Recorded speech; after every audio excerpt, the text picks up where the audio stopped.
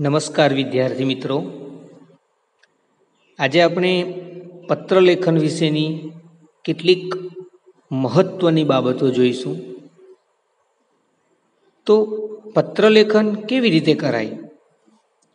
તો યાદ રાખજો કે પત્રલેખનના માળખામાં મુખ્ય ચાર ઘટકોનો સમાવેશ થાય છે.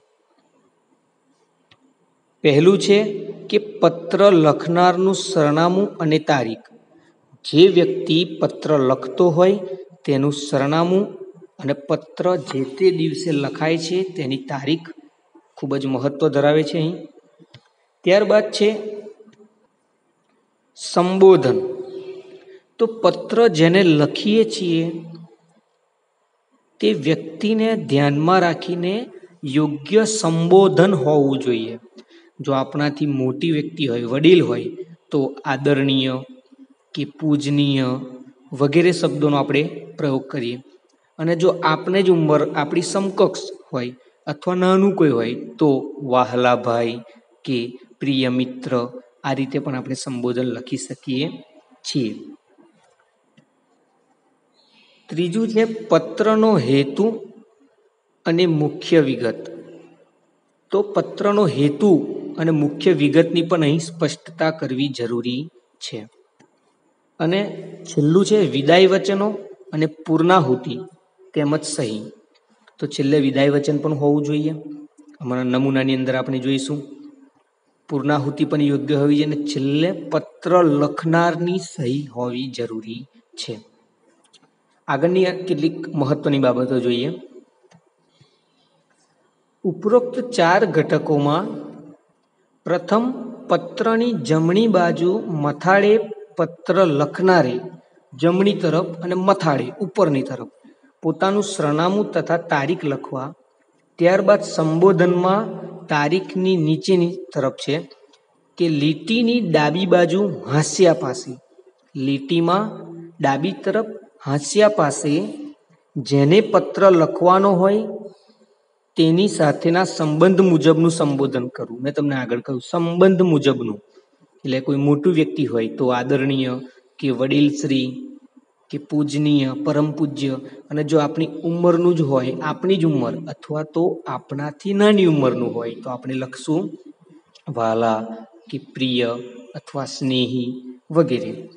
યાદ રહે કે વ્યવસાયિક કે ધંધાદારી પત્રો અરજીઓમાં જેને ઉદ્દેશીને પત્ર લખવાનો હોય, તેનું પૂરું નામ, સરનામું સંબોધનની ઉપર લખવાનું છે.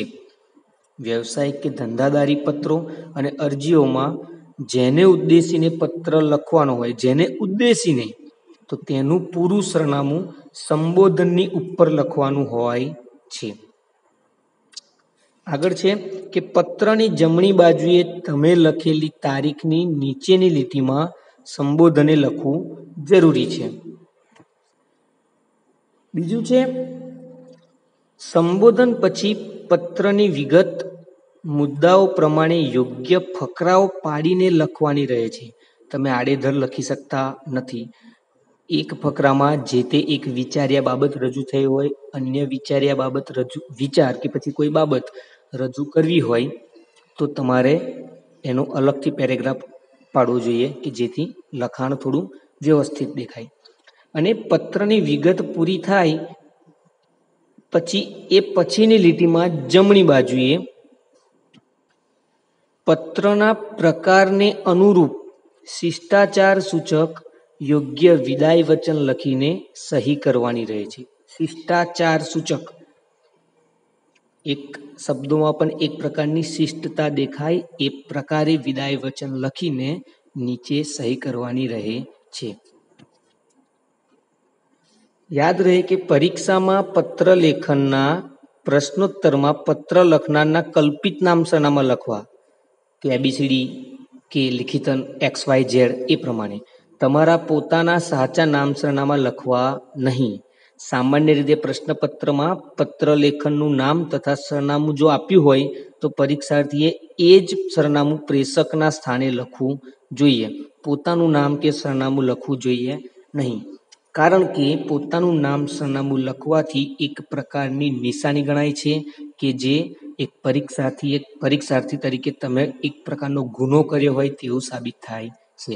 તો યાદ રાખજો, પરીક્ષામાં કોઈ પત્ર લખવાનું આવે અને જો અંદર ઓલરેડી સરનામું કે નામ આપ્યું હોય, તો તે પ્રમાણે જ તમારે પત્ર લખવું. પણ જો નામ સરનામું ન આપ્યું હોય, તો કલ્પિત નામ એ હું તો કહું છું એબીસીડી કે એક્સ વાય ઝેડ કખ ગ, એ પ્રમાણે જ લખવું. કલ્પિત નામ પણ અલગ વ્યક્તિનું પણ નામ લખવું નહીં. એબીસીડી કે એક્સ વાય એ જ લખવું કે જેથી એ કોઈ નિશાની ગણાય નહીં અને તમારું કોઈ પણ પ્રકારનું નેગેટિવ માર્કિંગ થશે નહીં. આગળ જોઈએ. પત્ર બોલચાલની સરળ ભાષામાં લખવો અને પત્રમાં વધુ પડતી આલંકારિક ભાષાનો પ્રયોગ કરવો નહીં. જોડની શુદ્ધિ જાળવવી અને જરૂરી હોય ત્યાં વિરામ ચિહ્નોનો યોગ્ય ઉપયોગ કરવો. પત્રમાં વધુ પડતું આલંકારિક એટલે કે શબ્દોને સજાવટ કરવા જવું નહીં. સરળ ભાષામાં જ લખો જોડણી સાચી લખવી કારણ કે ઘણીવાર ખોટી જોડણીથી આખે આખો એનો અર્થ બદલાઈ જતો હોય છે. બરાબર? વિરામ ચિહ્નોનો પણ યોગ્ય ઉપયોગ કરવો. પત્રની મુખ્ય વિગત ભાવવાહી અને સ્પષ્ટ રીતે રજૂ કરવી. ધંધાદારી કે વ્યવસાયિક પત્રોમાં કુશળ સમાચાર જેવી બાબતોને સ્થાન હોઈ શકે નહીં. કે તમે બધા ક્ષેમ કુશળ હશો તેવી આશા રાખું છું. તમારા બધાની તબિયત સારી હશે.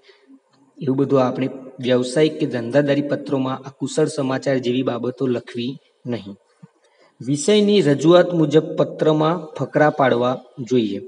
પત્ર પરીક્ષકને વાંચવો ગમે એ રીતે સુવાચ્ય અક્ષરે તેમજ યોગ્ય જગ્યા રાખીને લખવો જોઈએ.